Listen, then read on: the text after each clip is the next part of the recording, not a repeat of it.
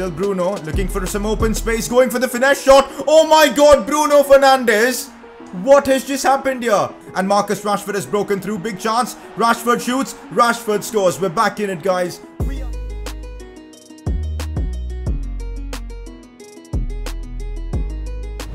Okay, how are we already in the month of December in this series? We've been making a lot of progress. This episode's big because we're going to wrap up our Champions League group with that game against PSG. We've got Spurs away in the Prem. Should be exciting and very soon we will be in the January transfer window. Big episode boys. We're going to be talking transfers, Champions League, Premier League action. Should be fun. If you're enjoying this career mode, drop a like on the video. That helps the channel grow. Subscribe if you are new around here. And let's kick things off. Press conference to kick off the episode. Get involved by dropping in your questions in the comments section below. First one of the day Give Mason Greenwood more playing time. He grows really well. And in my career mode, he's gone up to a 94 overall. That's actually mad.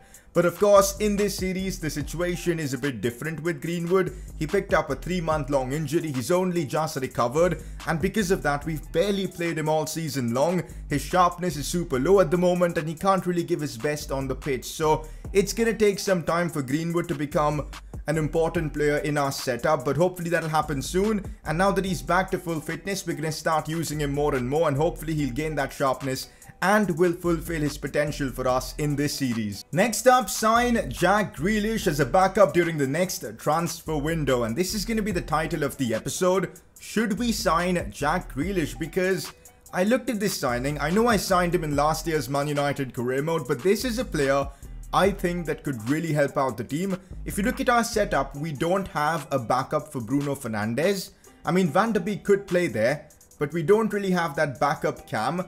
Jack Grealish not only provides us depth in that cam position, but he can also play as a left winger. And our only true left winger in the team is Marcus Rashford. So Grealish could prove to be a fantastic signing for us. At the moment, he's playing his trade at Roma. We're definitely going to scout him, get to know more about him, and in January, we could try and make this happen. Let me know in the comments section your early opinions on a signing like this.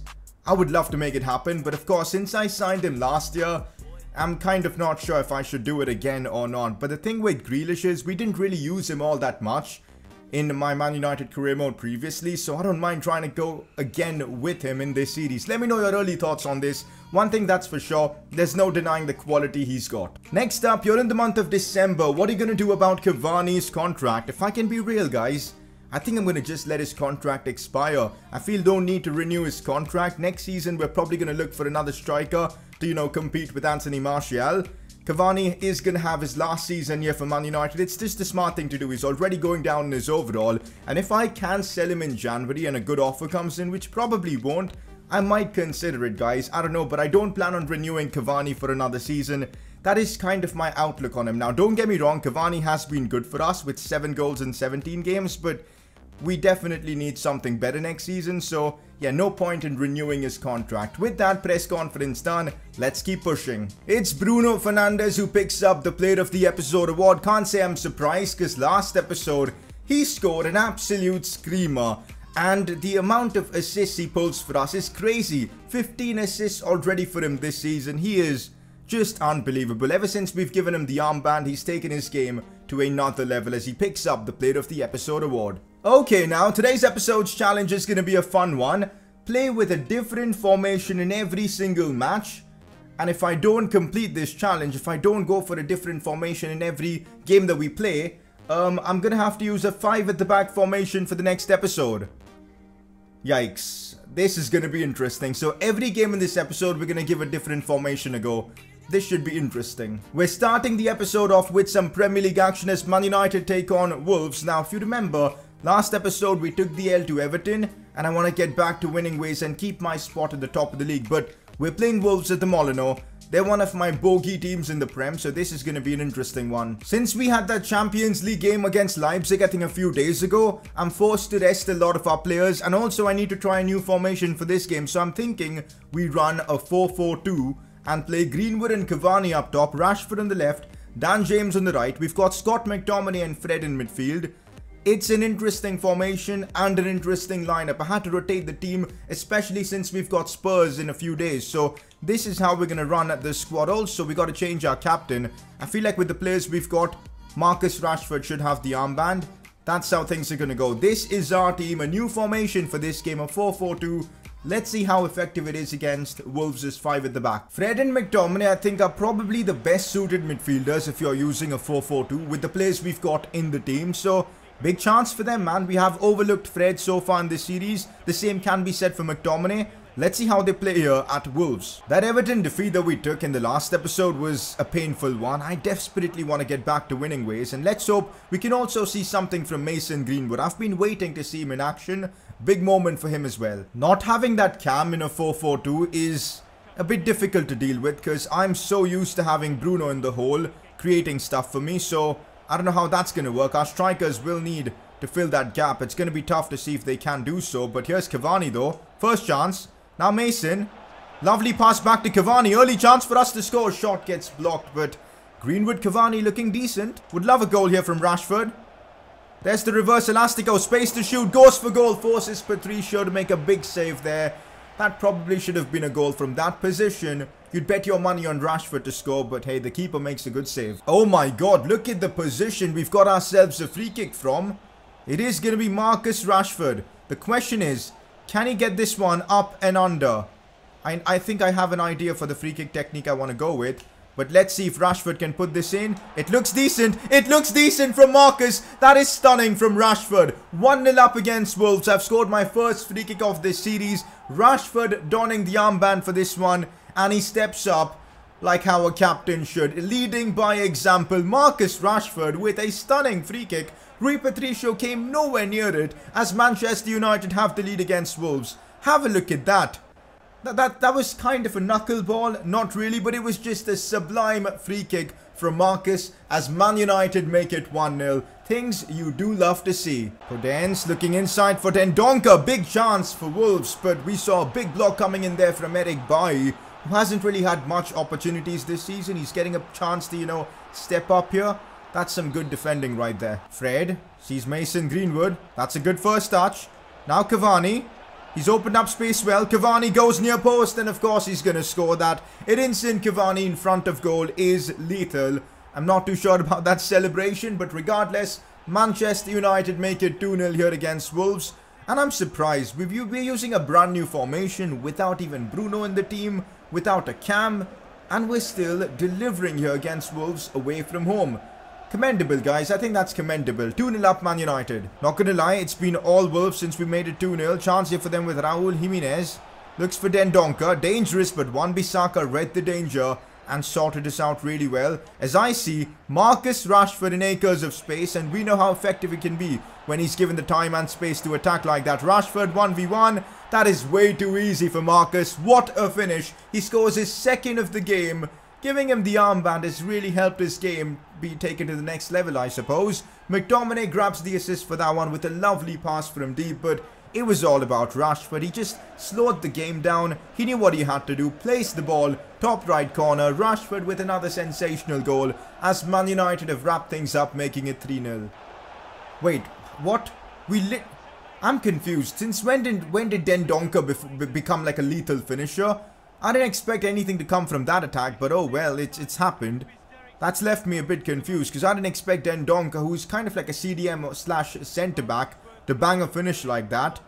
Well, they get themselves a goal back out of nowhere, but I think the game is still done. And there you have it, full time against Wolves at the Molineux. We've picked up a crucial win, three points in the bag, and that should keep us at the top of the league. What a performance and we used a different formation as well so can't complain. You know what guys, the 4-4-2 has my seal of approval, loved using this formation, maybe we even consider it for some games in certain situations at some point but yeah really enjoyed using this. Okay, didn't realize that it's first versus second in the Premier League, we're up against Mourinho Spurs and winner of this game basically stays top of the league. That's mental. It's Tottenham versus Manchester United, we're playing them away at the new Spurs Stadium. And this is going to be a key game in the title race. If we can get a win here, we will actually have, what, a 5 or a, yeah, a 5 point advantage over Spurs at this stage of the season? How crazy would that be? And also, how crazy is it that Man City aren't even in the title race? They're 10th in the Premier League. This makes no sense. But On the other hand, this might be the season with City not having the best of fortunes, we can win the league. Less competition this season for us. This might be it. We've got to push and we need to get a result here. Is the squad deep enough for you to sustain your title challenge?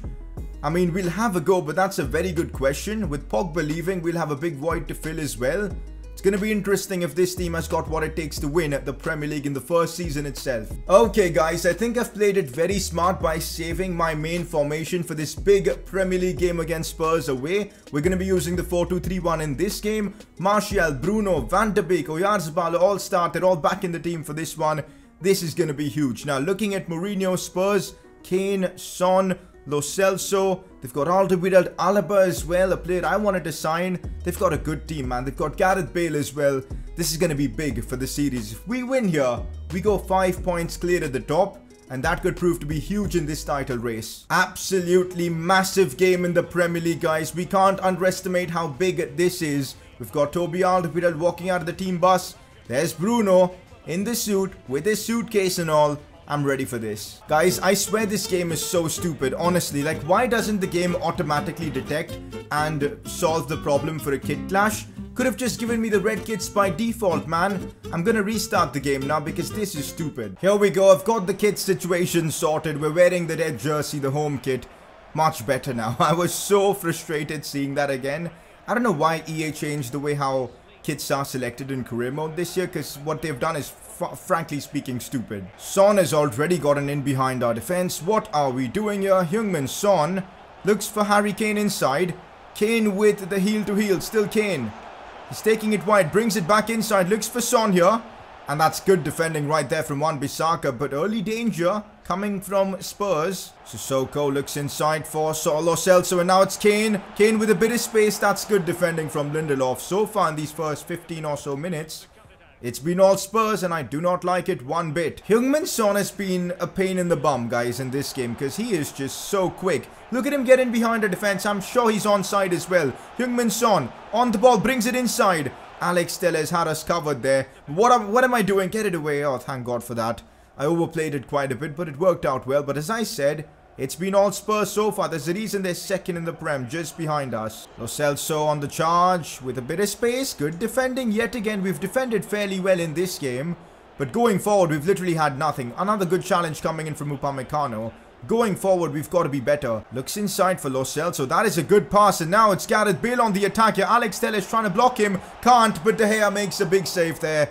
Spurs are, Spurs are literally all over us, guys. And I'm finding it extremely difficult just to even keep possession. Lo Celso on the charge again. Looks for Kane. It's over. We're going to concede. There you go. Spurs make it 1-0. They've been just way too good for us. I've just been unable to do anything. We can't get the ball off them. They're creating chance after chance. And deservedly so, they've taken the lead.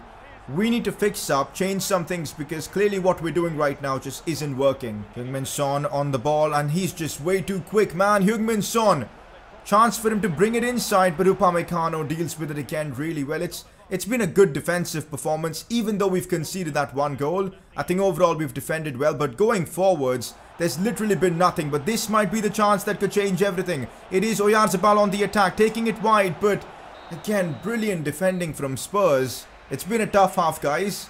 We're playing a very good team, and in the second half, things need to change. As crazy as it sounds, I, I kind of feel like we need something else in that midfield. And I think Fred might just be it. I thought he was really good in that last game.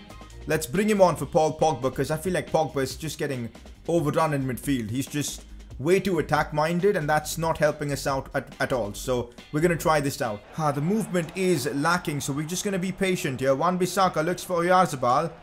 Back now for Van der Beek. This is good football. This is brilliant football. Martial now shoots and we're back in it guys out of nowhere. That might actually be one of our first opportunities of the game. We played it so well down that right flank, being super patient. Finally, when we got the ball towards Martial, he knew what he had to do. Slotted it home calmly, past the goalkeeper, as Manchester United make it 1-1.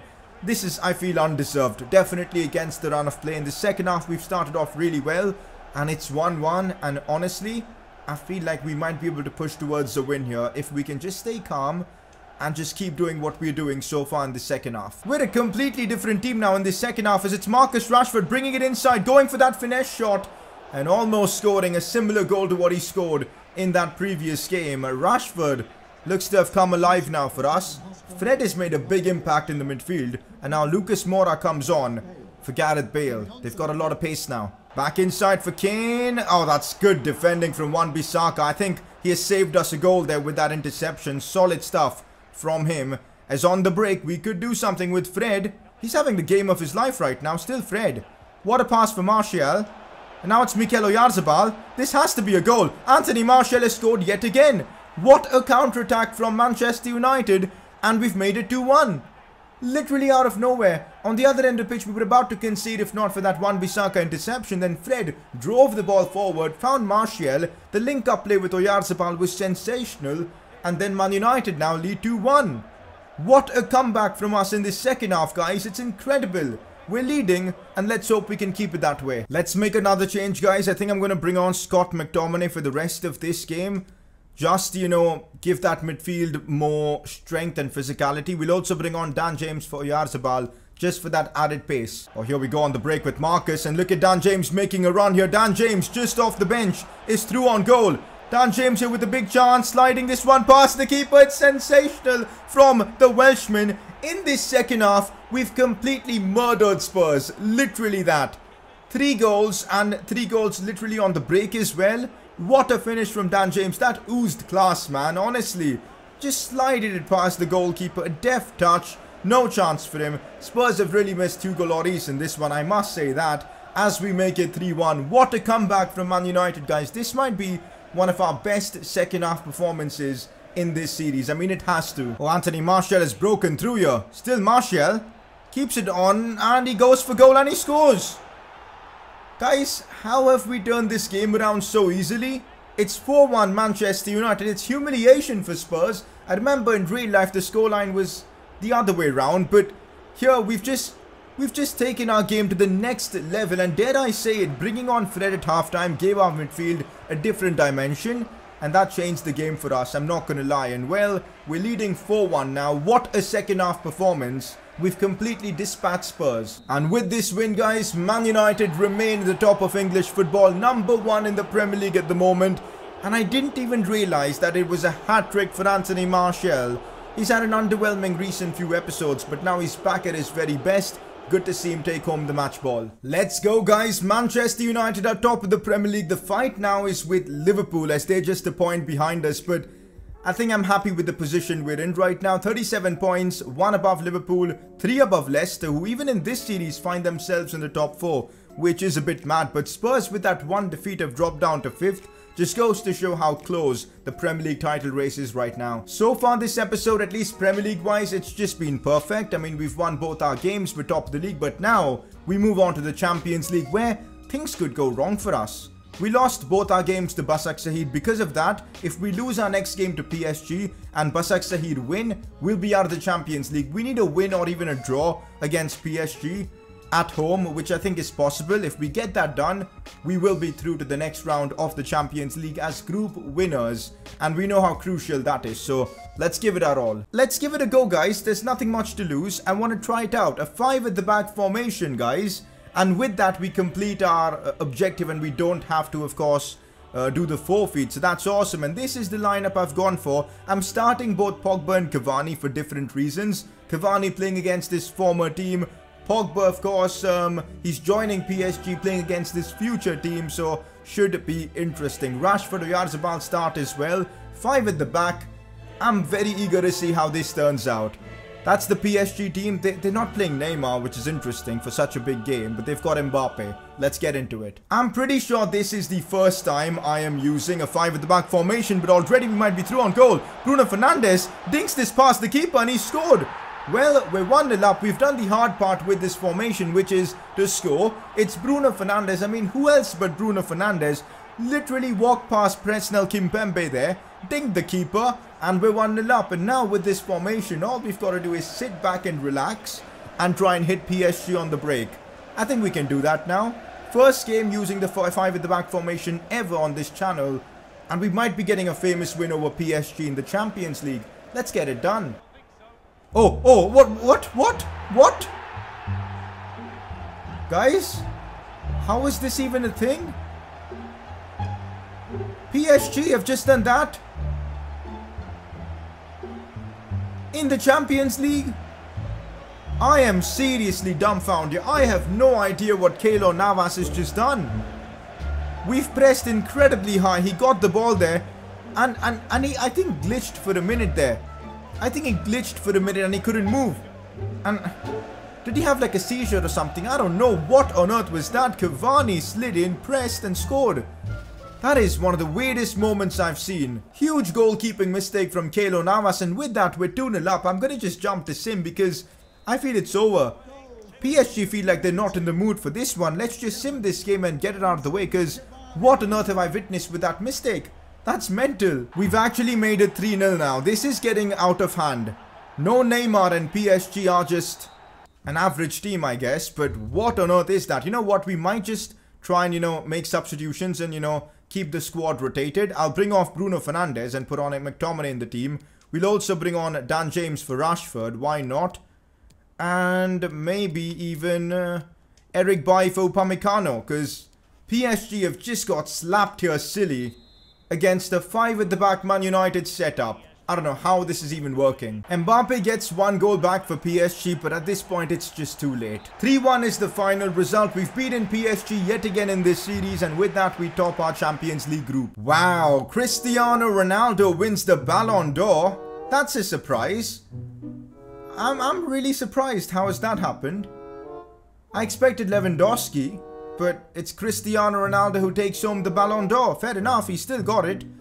Maybe at some point in this series, you know, we, we do it again. We bring back Cristiano Ronaldo. We'll see. PSG have been let off in this group because Basak Başakşehir picked up a draw. And because of that, PSG are through to the next round of the Champions League. Man United and PSG through. We're just going to quick sim this game against Newcastle and hopefully pick up a win. By the way, the formation thing doesn't apply for games that we just quick sim because I don't want to waste time, you know, changing the formation and all in this instance. But 3-1 against Newcastle, Rashford, Bruno, and Wan-Bissaka with the goals, another win in the Prem. So we're ending off the episode top of the league in the Prem with that win over Newcastle. We keep our spot intact, but it's so tight at the top. Just, what, 6 points separating first from fourth?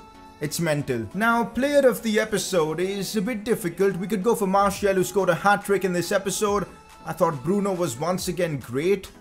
But, you know, hat-trick hero, Anthony Martial, it probably should be him. Rashford had a great episode as well, so it's actually tough deciding who wins player of the episode. You guys can make that call. Very soon, we're gonna have the Champions League draw, and you guys will be finding out who will be up against in the round of 16. But next episode, we'll be getting done with the month of December. We'll be in January, and maybe some transfers to go with that. So should be exciting in this series.